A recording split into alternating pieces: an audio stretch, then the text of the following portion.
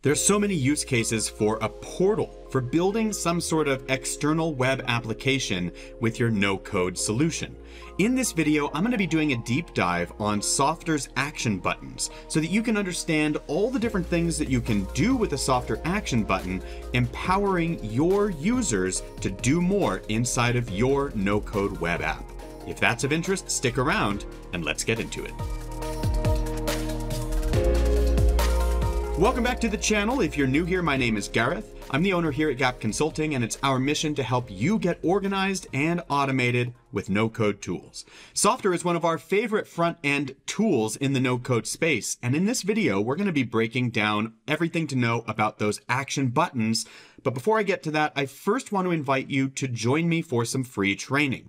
If you are new to Airtable, to no-code in general, and you're looking to just really master the key building blocks, grab our free training at gapconsulting.io slash airtable dash crash dash course.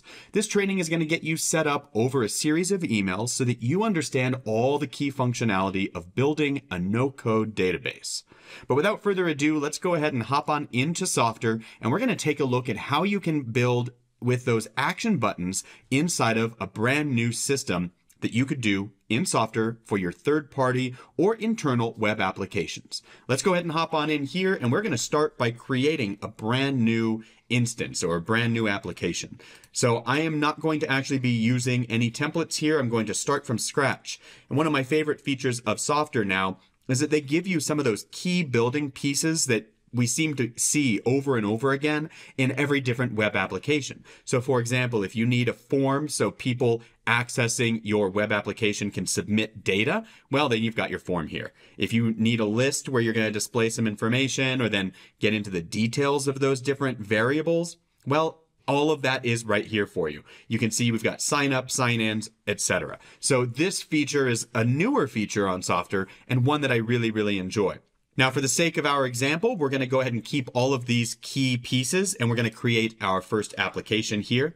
And inside of the application, once it gets set up, it's going to ask us to start syncing up with Airtable once we want to get linked up to our data source.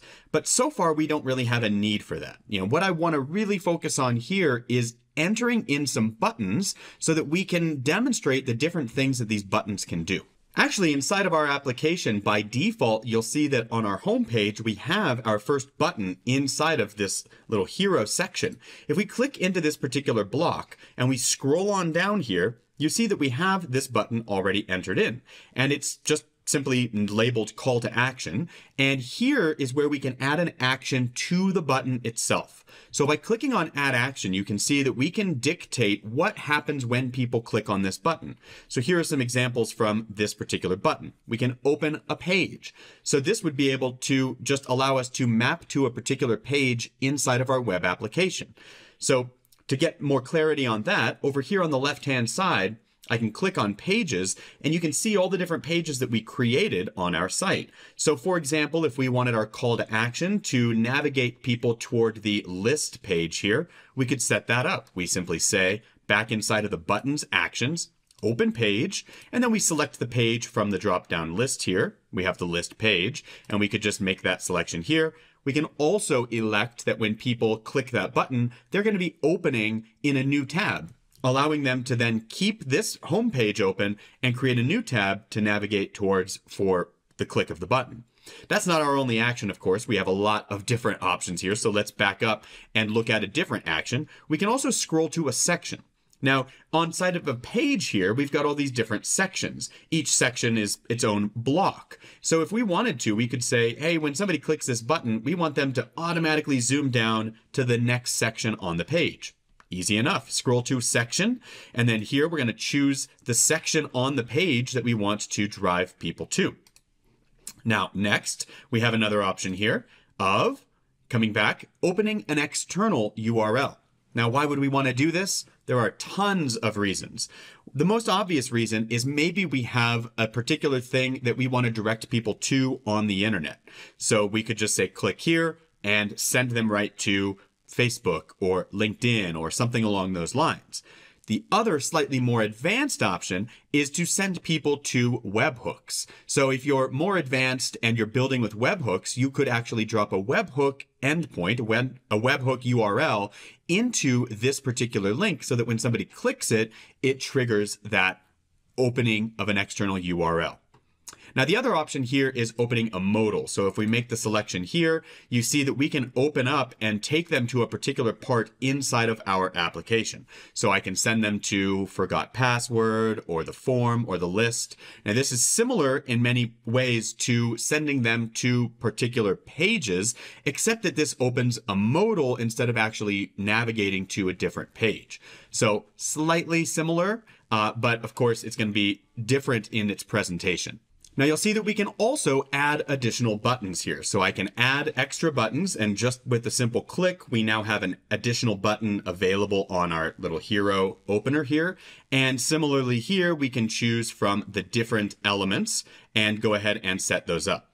Now this is one style of button. This is the button that's here on our home page inside of our hero block that we're working with right now.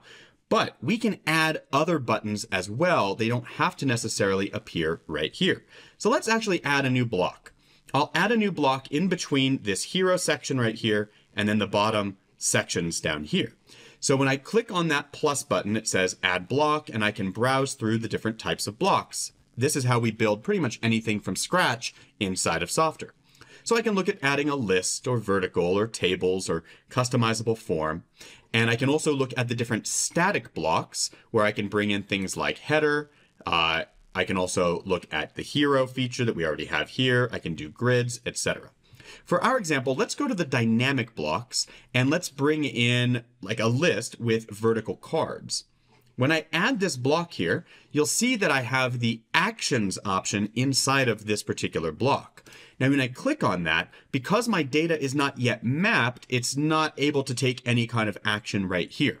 So let's go ahead and actually set up some information here inside of our system. Let's get this talking to Airtable so that we can actually map it out and therefore be able to take some actions and look at some examples. So in order to do this, we need to go over to our settings and go to our data sources and make sure that we're synced up to Airtable. As you can see, we don't have any data sources used in the app just yet.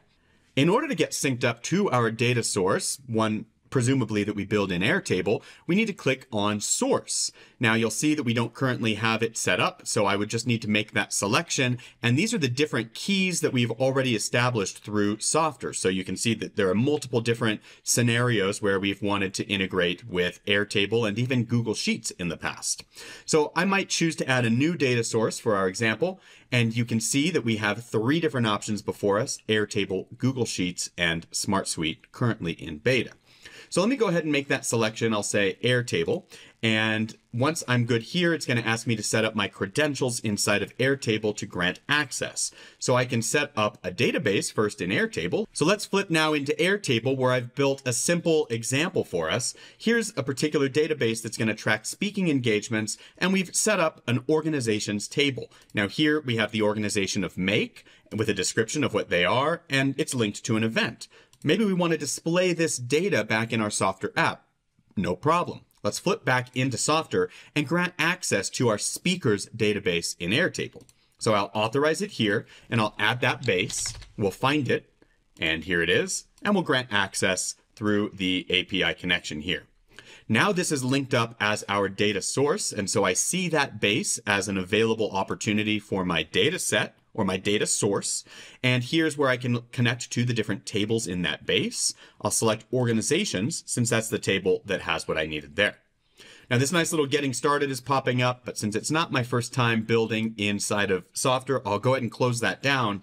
And now we see a record here for that initial record that we have in our organizations table. If we zoom in here, we can see that it says make, and so far we haven't mapped anything else here. So now that we've linked up to our data source, we can take a further step with our actions. If we flip into actions now, you see that we have some other opportunities before us. Now, first and foremost, we have the top bar button that says add a record. Can we change this? Well, let's take a look. We can click on it and make some modifications here in terms of what we're capturing in that record. So by default, that is what the button is set up to do add a record. But if we hover over here, we have the ability to change this action and we can give it some of those other actions that we did back to the previous actions that we were looking at as well. Opening pages, scrolling to a section, opening a URL, and of course, because this one is linked to a data source, we can also add a record to that data source. Note that when we add a record to a data source, we're only adding a record in one table. Now we have some other button options as well. We can add item buttons, and these item buttons are going to have some additional options for us too. So we can delete a record just with a click. So we could essentially add a record here on the list view that says delete. And just like that, with a simple click, I've added this action button where if a user clicks this button, that's it. They delete that record from our data source. Really, really powerful. Deleting records is not my only option though. I can always click here to change the action. I get some of those more static elements like opening details, scrolling, opening a URL, but the other ones that I really want to hone in on here, because I'm linked to a data source, I can edit this record. So this, remember, represents an organization inside of my organization's table. Well, Softr has made it easier than ever to edit our information. I can click edit record. When I make this selection, it's going to open up for us and say, what are the parts that you want to give people the ability to edit? And right then and there, I can allow them to edit the name, the events. I can add all these different fields here and allow them to edit that data back inside of Airtable. And it's also going to edit how it shows up here inside of my app. Editing records, of course, is awesome. We've been able to edit records for a long time inside of Softr, but it's much easier now that we have a button click to do it. I also have a one click update option, so I can just click simply right there and it's going to update with just a simple click. And that's it for the different options that I have for the record. So again, I can edit a record, do a one click update, and of course delete a record with a simple click. Really powerful stuff with these action buttons. And in my opinion, it makes it much, much easier to build inside of Softr because it was a little difficult, I think, for a lot of people to understand how to create editing capabilities within the previous Softr system. Now that they've updated with these action buttons, anybody is going to have a much easier time building advanced functionality for your web application users. I hope you got a ton of value from this video. If you did, be sure to like and subscribe to the channel and drop any questions below that we didn't get to. And in the meantime, keep on building.